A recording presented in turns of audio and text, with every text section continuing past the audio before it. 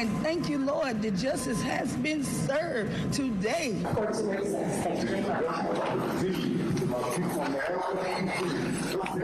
Una familia finalmente logra cerrar un capítulo doloroso en su vida. Hoy la jueza confirmó la pena capital para Marquette Lloyd por el asesinato de la teniente de la policía de Orlando.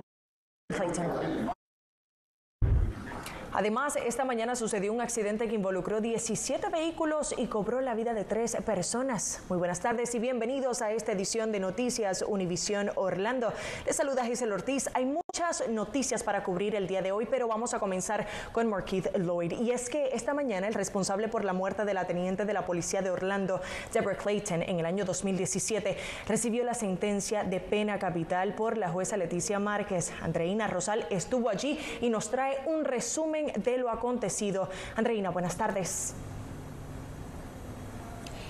Sí, Hazel, desde muy tempranas horas de la mañana ya Market Lloyd se encuentra en el corredor de la pena de muerte luego de, de, que la juez pronunciara las sentencias. Esto también luego de escuchar la recomendación del jurado que se hizo a finales del año pasado. Recuerden ustedes que este juicio estuvo lleno de polémicas de altas y bajas con respecto a la posición del sistema frente a la pena de muerte. Los cargos que tiene el acusado son asesinato en primer grado a un oficial, asalto grabado por arma de fuego, robo de auto con armas de fuego y posesión de arma de fuego por un delincuente convicto. Recuerden que esta persona también asesinó a su exnovia y por eso estaba siendo perseguido por la teniente, quien perdió la vida en sus manos. Pero ¿cómo llegamos hasta el día de hoy? Vamos a hacer una recapitulación de los hechos.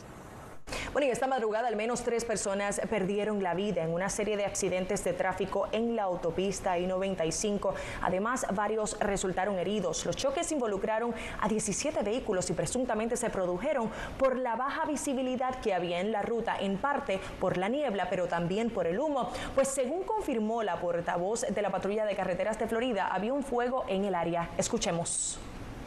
Was some kind of burn in the area, a burning of the forest. Encontramos un incendio forestal y el humo de ese incendio se mezcló con la neblina. El suelo se humedeció y la visibilidad se volvió cero.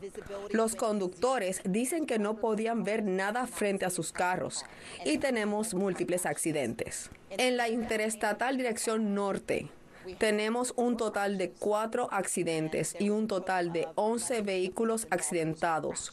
Uno de esos accidentes tuvo una víctima mortal. Un niño fue trasladado al hospital y está estable. Hay varios adultos pero se encuentran estables. En la interestatal dirección sur tuvimos un accidente que involucró seis vehículos, cuatro camiones y ahí hubo dos víctimas, el conductor de un auto y el de un camión. Además de las víctimas mortales, varias personas que viajaban por la autopista fueron trasladadas a hospitales del área y un menor está ingresado en el hospital de niños Arnold Palmer de Orlando.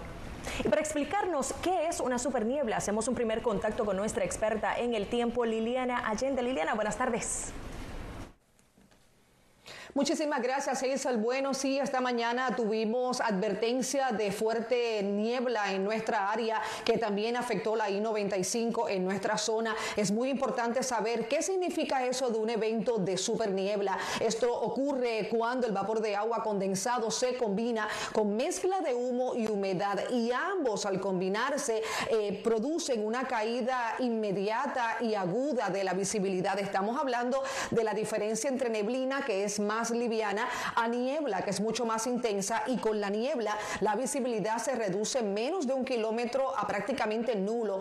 Son por momentos en partes de, los Estados Unidos donde usted está manejando en la autopista y se ve todo bien y de repente ve esa pared eh, como si fuera una pared blancuzca, así que es sumamente peligroso. Mantenga siempre precaución, distancia, especialmente cuando usted ve algo de neblina o de niebla en su área. Mucha precaución al manejar siempre. Hasta aquí las condiciones del tiempo. Más adelante, pronóstico extendido. Regreso contigo.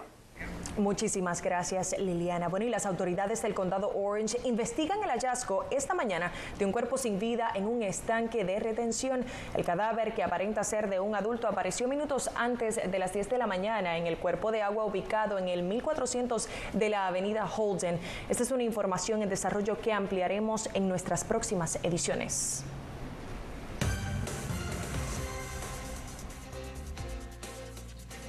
Las autoridades continúan investigando lo que ocurrió esta mañana en la I-95. Se lo acreditan a la niebla y el humo, pero le tendremos recomendaciones más adelante. Este segmento es traído a ustedes por Martínez Manglardi. Esta es una información importante. Unimás Orlando se cambiará al canal 29.1 y al 43.7. Un nuevo canal pero con tu misma programación favorita.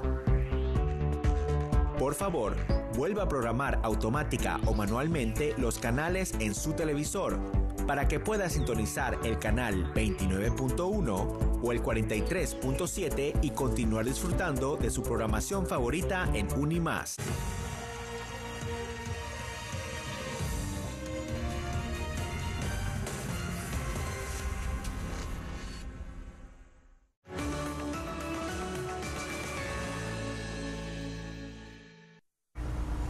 Como les mencionamos anteriormente, la neblina pudo haber sido un factor determinante en el aparatoso choque de la I-95 esta mañana que provocó muertes y personas hospitalizadas.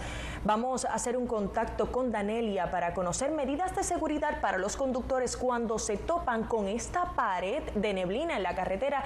Danelia, cuéntanos, ¿qué debemos hacer? Bueno, y es momento de regresar con Liliana para conocer el pronóstico extendido para el fin de semana que está a la vuelta de la esquina. Liliana, buenas tardes. Ya tenemos los planes definidos para este fin de semana. Gracias a ti, Liliana. Si frecuenta la costa de Daytona Beach, sepa que hay modificaciones para el horario de los bares.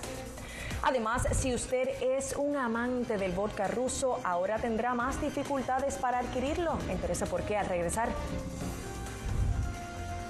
Siguen las polémicas medidas y propuestas del gobernador de DeSantis con respecto a la prevención del coronavirus. Este segmento es traído a ustedes por las oficinas del abogado Dan Newling.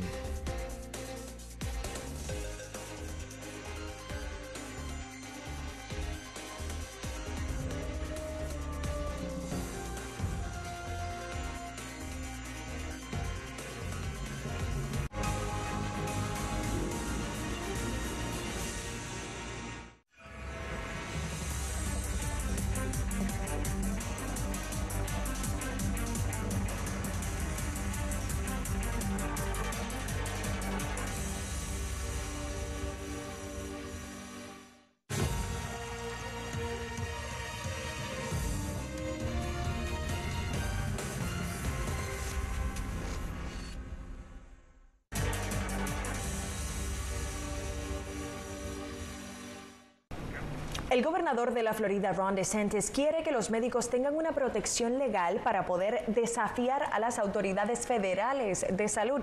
En una visita al campus de Florida State University en Panama City, al norte del estado, DeSantis pidió el apoyo de los legisladores floridanos a su propuesta de ley de libertad de expresión de los profesionales de la salud, que actualmente se está abriendo paso en Tallahassee. Según DeSantis, la propuesta busca garantizar la primera enmienda en las personas que practican la medicina. Los médicos podrán realizar prácticas apoyadas por evidencia científica sin miedo a entrar en conflicto con la narrativa de los CDC. La rumba se acabará más temprano en Daytona Beach. Los bares tendrán que cerrar una hora antes a partir del día primero de junio. Así lo decidió la comisión de la ciudad anoche en una ajustada votación. Los bares deberán cerrar a las 2 de la madrugada en vez de las 3.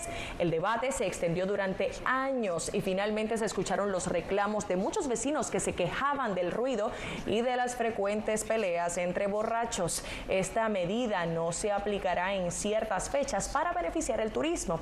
Los propietarios de los bares mostraron su preocupación porque aseguran que se verán afectados sus negocios. La cadena de supermercados Publix anunció que no venderá vodka de fabricación rusa en sus licorerías, esto en respuesta a la invasión de ese país a Ucrania.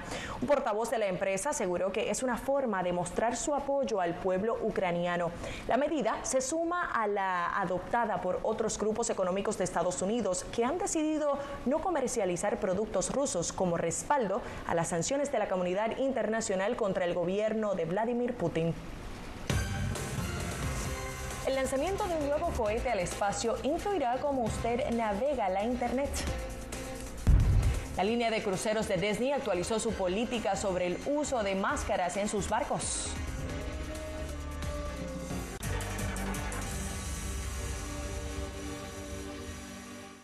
Así que vamos rápidamente, tenemos alerta del tiempo para la zona de Orlando. ¿Cuál es la pieza y por qué es tan vulnerable? Sí, esta pieza que está aquí. Cortan aquí y la pieza cae. Esas corrientes de resaca, corrientes marinas que arrastran nuevamente el agua hacia mar adentro. ¿Cómo funciona? Estas puertas se abren. ¿Cómo está el tránsito? Esta calle de la Dranford Drive está completamente cerrada. Estas líneas paralelas de agua lo arrastran mar adentro.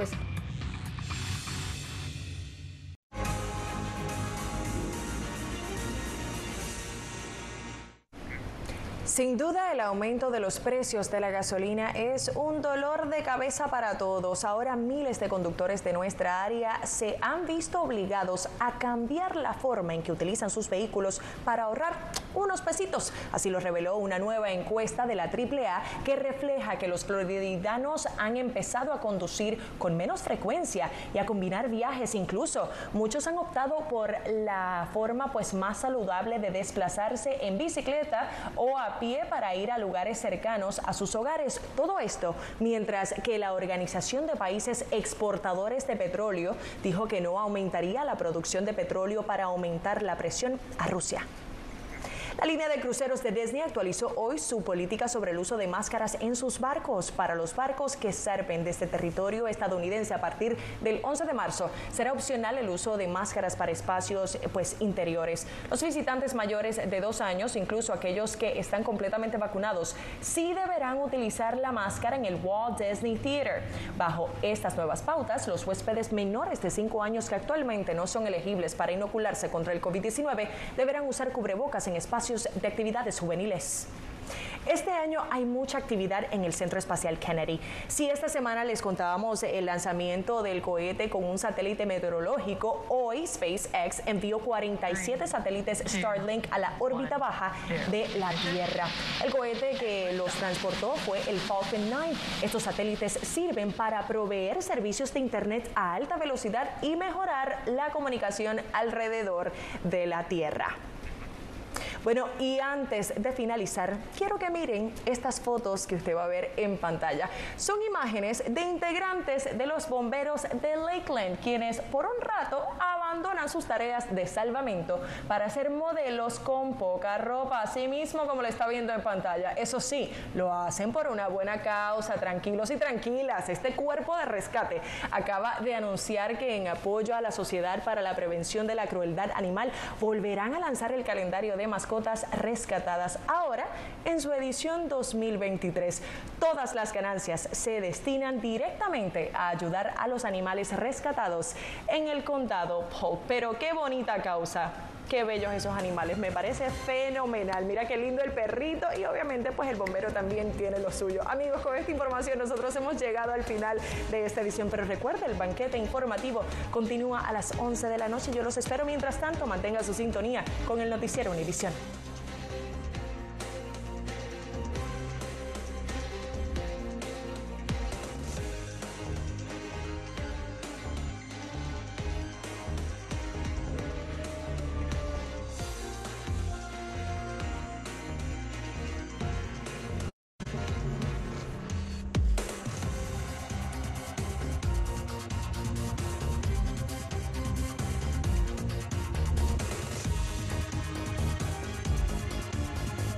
Noticias Univisión Orlando te brinda el informe del tiempo más completo para que continúes haciendo las cosas que amas cuando más lo Hoy necesitas. va a ser un día libre de lluvia, pero ventoso. Vamos a estar cerca a 80 grados. El pronóstico más preciso. Y hasta con tornados confirmados, yo les cuento detalles. Realmente va a ser un día espectacular, radiante, precioso y hasta caluroso.